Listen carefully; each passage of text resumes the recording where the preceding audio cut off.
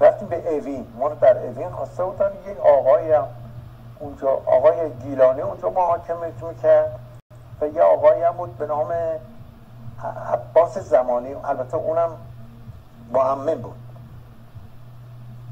بعد این خاطره است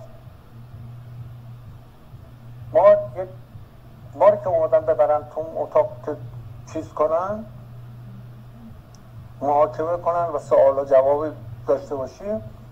من با اون آقای یه آقای بود که اونجا چیز جز نگهبانا بود و بادیگارد بود و اینا اصله داشت و اینا. این بچه محل ما بود مال شهبار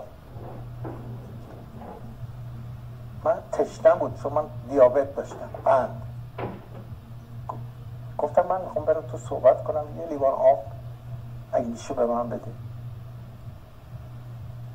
و هر این ازش رو رفت. آخری دفاعته. دفاع از خودت دفاع بکن اگه کاری حرفی داری چیزی داری. گفتم نه من یه به چر برای شما کنم شما جای امیر المومنی نشستی. داری حکم میدی. گفت چیه گفتم که من اگر زنده بودم این خط تو میدم یه شاعر خوشخط. بنویسه شما جای امیر المومنی نشسته بالا سرتون بزنه. اگر نبودم هم که دیگه نبودم. گفت چه و چه؟ گفتم به قتل چون منی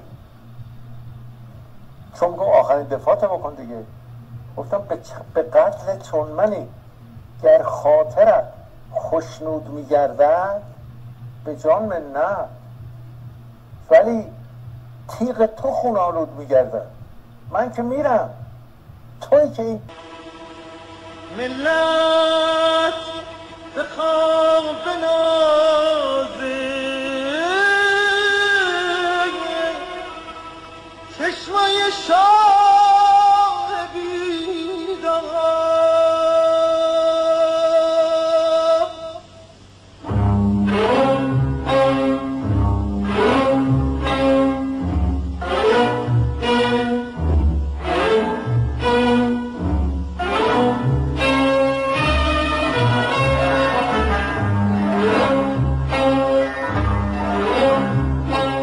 ترسی نداره این ظلمت شبونه.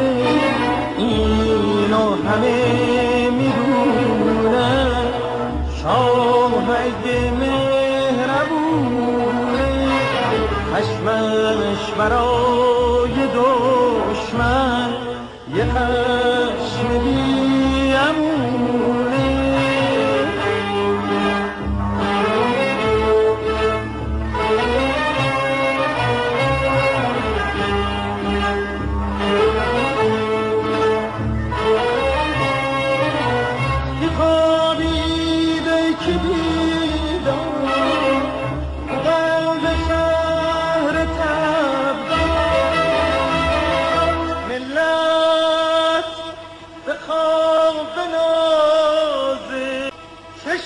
ঈশ্বর